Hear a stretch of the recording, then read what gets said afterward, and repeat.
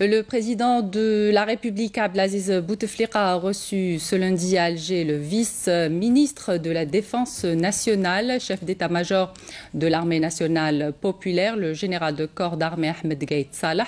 Lors, de cette audience, Gaït Salah a présenté un rapport sur la situation sécuritaire au niveau national, notamment au niveau des frontières.